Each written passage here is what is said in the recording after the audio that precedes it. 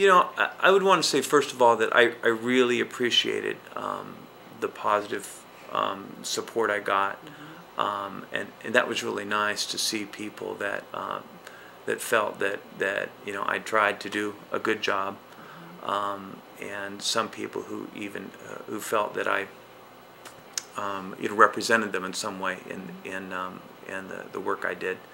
Um, I wasn't trying uh, to win a popularity contest, and and um, I I wasn't trying to represent you know a particular segment of our community.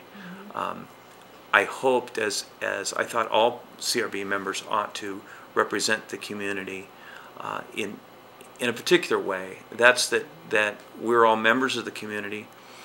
We all have our different friends, our different circles. Um, we live and, and, and mix in the community, um, have many discussions with people. And I'd expect that our, our purpose um, as citizens, you know, on, on a civilian review board is to, uh, to bring some of those, those views and viewpoints to the table when we discuss cases. Um, not necessarily consciously, but just uh, unconsciously, just you, because you're the, you're the product of your experiences and conversations and interactions that you have. So um, the the way it happened, I I was not surprised not to be reappointed because I knew that some um, councilors uh, had taken. Um, a dislike, I don't know to me personally. I hope it's not to me personally, but if it is, so be it. But they've taken a, a dislike to some of the things um, that I said um, uh, at various times over the, the three years.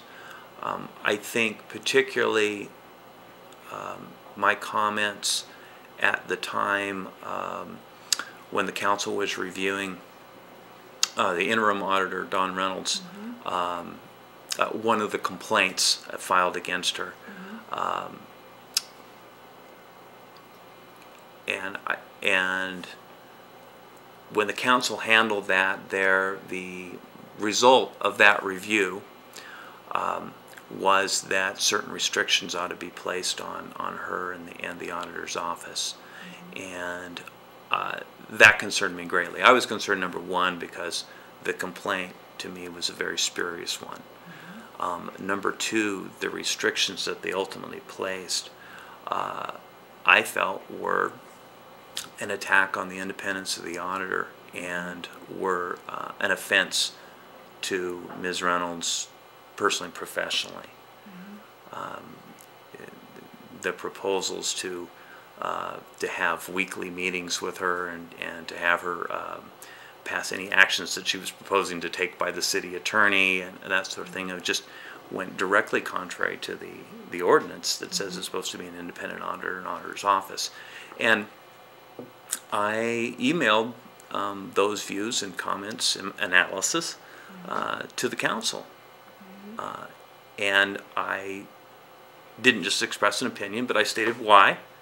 Um, I backed it up. It's you know it's part of my training with specific citations to the to the ordinance, and um, I think that some councilors took offense at that. Uh, it seemed that they were bothered by the fact that I would challenge actions and statements they made.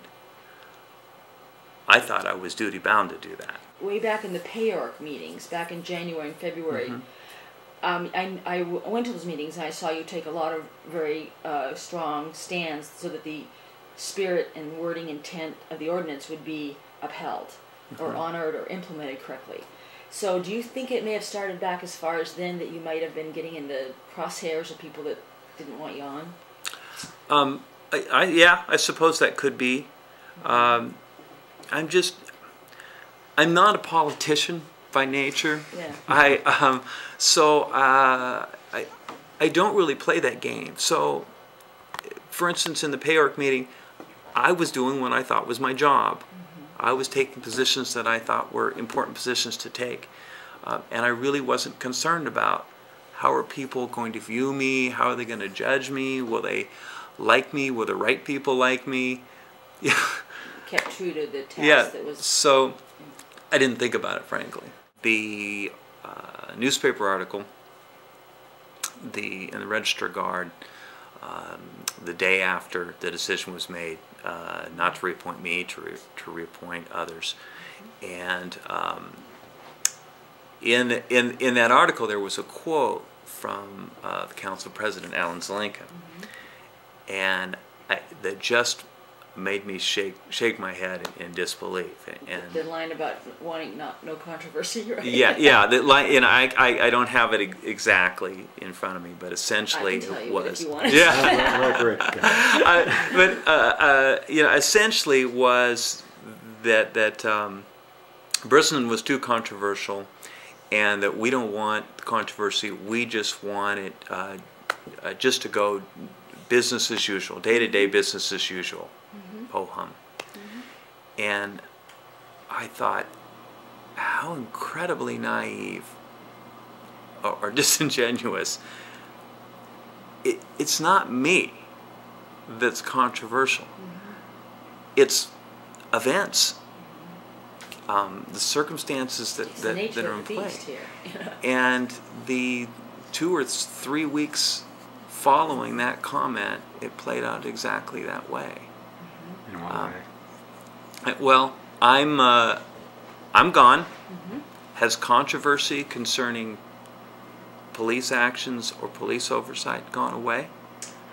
Uh, perhaps you, are we You- you- considering this uh, September 22nd tasering of the Chinese student? Well, that you got the Chinese hit the students. media. You've got the case with the the dog bite case. Um, you've got um, controversy about taser use in general. It's um, a friend of mine um, said to me the other day, "So, wow, today was a banner day. There was nothing in the paper about tasers." It these things are it's going to continue to be controversial until we start really dealing with the problem. Nobody likes to be scrutinized. Nobody likes to think that people are looking over their shoulders. And if you have a difficult job, um, it's all the more sensitive to you. You feel like I'm doing a really difficult job, I'm putting my life on the line, um, and then these people in their comfortable armchairs are second guessing me. Uh, especially if you have the, the kind of history that you have with, with police departments, you know, up until, you know, 15 years ago or something, or 20 years ago, I'm not sure when the first ones, first oversight started to come about, there was no outside body or person looking at the conduct of police. They, they didn't have that. So there is uh, there's a long history of not having any oversight. So something new like this comes along and it's pretty uncomfortable and you're going to resist it. That's just going to be natural. The first step is you've got to hold people accountable. And out of all the cases that we reviewed, and I don't know how many there were, but there was only one of those cases that we reviewed that uh, an officer ended up being disciplined. That the, the um, chief found that, that there was a necessity for discipline. If an officer has made a mistake, if they've screwed up, you've got to call them on it. You've got to say, nope, this was wrong, we made a mistake here, mm-hmm. and we have to own that. They can stack the civilian review board, the auditor's office can decide to do nothing, the police chief can do nothing, but the those issues and problems will not go away until they're dealt with. So I think it is inevitable that they will have to be faced constructively. If you've got um, uh, problems with tasers use, if you've got officers who are not making good decisions, if you've got officers who are not properly trained, or you've got procedures um, that are leading to people's constitutional rights being violated or people being injured, it's gonna blow up. There are politicians who play a big role in the success of this system. Politicians have to be responsive to public sentiment.